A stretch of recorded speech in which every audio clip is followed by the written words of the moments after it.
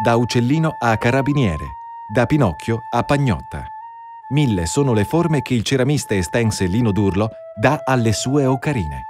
Pezzi unici, forgiati con sapiente maestria da almeno 30 anni, che ha permesso all'83enne ceramista di vincere la prima biennale del fischietto in terracotta Città di Matera.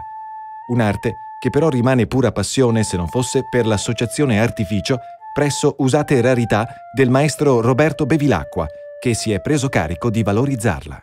Una volta venuti a sapere casualmente che produceva queste ocarine, l'artificio si è impegnato anche economicamente per acquistarle tutte quante e poterne fare una mostra, un'esposizione itinerante che è a disposizione di tutti i siti culturali e istituzioni culturali pubbliche e private che la richiedessero all'artificio e che la trovano sul sito di Usate Rarità.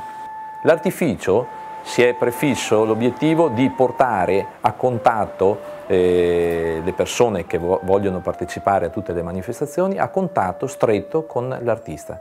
Qui sono venuti personaggi importantissimi, grandi musicisti, grandi pittori, grandi scultori, è venuto Lino Durlo con le sue ocarine e eh, sono sempre stati questi artisti eh, in mezzo alla gente, con una bicchierata culturale offerta da Moira Facciolo di Usate Rarità, questi artisti hanno fatto crescere le persone che hanno partecipato alle manifestazioni e eh, so, hanno fatto crescere anche l'artista che si è misurato con un pubblico a stretto contatto e non sopra un palco.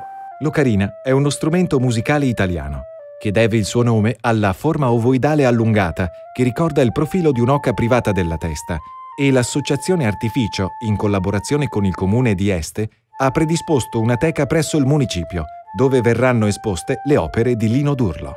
L'amministrazione eh, preso atto di questa straordinaria presenza umana e di questo valore straordinario che quest'uomo fa, ha assieme a Usate Rarità individuato una vetrinetta espositiva per questi prodotti all'interno dell'ufficio turistico.